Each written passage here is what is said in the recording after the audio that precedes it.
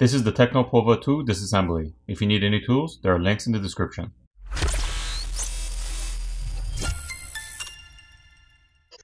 First, the SIM tray needs to be removed. Next, we need to place a pry tool in between the back housing and the frame of the screen, and run it along the edges and pop the catches off.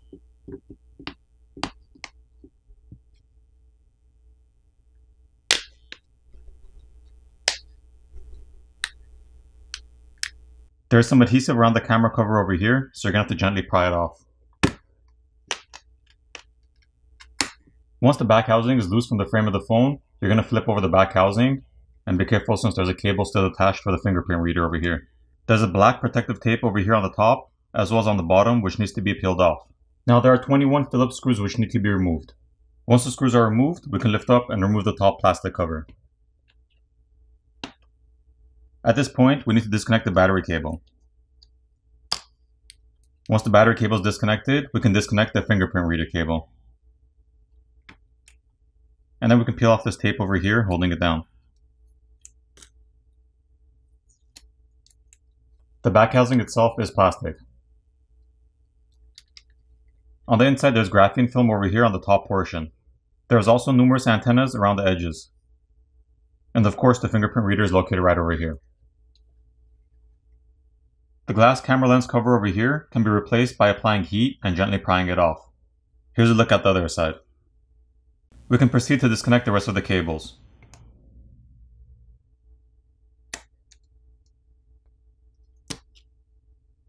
There's a wire cable or coaxial cable over here in the corner which needs to be popped off.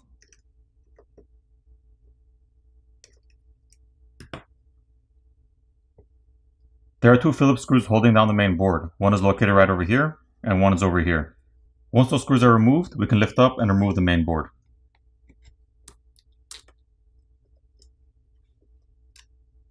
On this side of the motherboard, there's some graphene film over here on top of these shields. The quad LED flash is located over here, and there's a liquid damage indicator, which is this white sticker over here in the corner. There's also a rubber gasket around these connectors, and these over here. The camera connector over here can be disconnected by just popping it off. And there's some copper tape over here behind the front-facing camera. On the other side, we can see the SIM card and memory card reader located over here.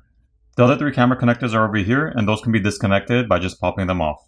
And the front-facing camera connector is located right over here, which can also be disconnected by just popping it off. The proximity sensor is located over here on top, and the two LED flash is located over here right next to it. There's some thermal paste over here on top of the copper tape, which is sitting on top of the shield, and there's some thermal paste over here on top of this shield as well. Once the removable shield over here is removed, we can see more thermal paste underneath on top of the processor and RAM. Also, once the copper tape over here is peeled back, we can see more thermal paste underneath that on top of those chips. The bottom plastic cover can now be removed. Here's a better look at that. The flex cable on the subboard needs to be disconnected. There's also a coaxial cable or wire cable over here which needs to be popped off.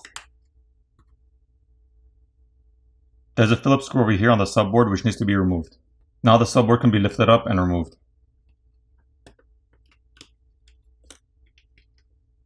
There's another liquid damage indicator located over here, which is this white sticker.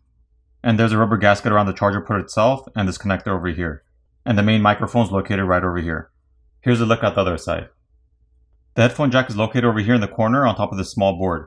It's held down with adhesive, so if you need to remove that, just gently pry it off. When it comes to replacing or removing the battery, there's a provided pull tab in the bottom left corner of the battery over here, which will help you pry the battery off.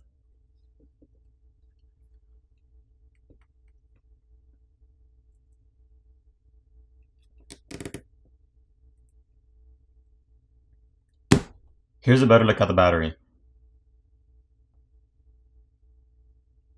Once the battery is removed, we can see this flex cable over here for the screen, which is routed through the opening over here in the mid-frame. We can also see this flex cable over here, which connects the main board to the subboard. So when it comes to replacing the screen, you need to remove the back housing, as well as remove the screws on the top back cover and remove the top back cover, disconnect the battery cable and the cable over here for the screen, and then you'd need to remove the battery itself, so you'd have access to the flex cable over here, at that point, you would heat up the front of the phone where the screen is so you can loosen up the adhesive underneath. You pry your old screen off, apply new adhesive, reapply your new screen, making sure you run the flex cable through the opening over here in the mid frame, and then you would reassemble your phone. The vibrator motor is located over here in the bottom corner. The flex cable for the power button volume key is located over here, and that's held down with some adhesive so you can gently pry that off if you need. And finally, the earpiece speaker and loudspeaker is located over here on top, which is also held down with adhesive. So if you have to replace that, just gently apply some heat and pry it off. As far as repairability goes, I give this phone a 6 out of 10. Now it's time to put the phone back together.